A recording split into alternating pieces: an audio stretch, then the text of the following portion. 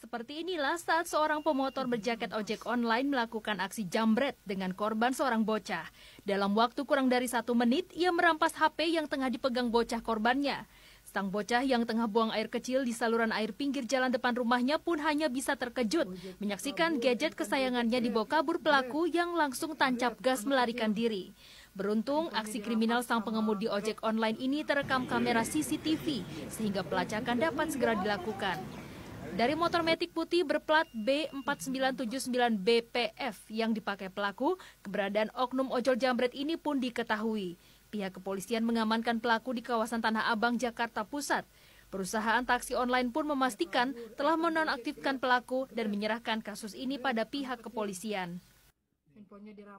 Kita sudah me langsung menyelidiki sesegera mungkin berdasarkan input dari masyarakat. Terima kasih sekali dan benar kita uh, identify bahwa itu memang drivers Grab.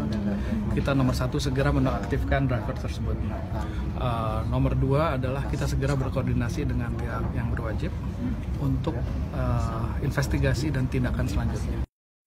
Kejadian jambret HP terjadi di Jalan ZZ Cengkareng, Jakarta Barat pada minggu pagi.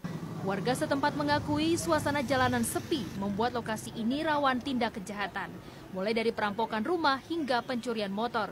Hendrawan Wikongko, Jakarta.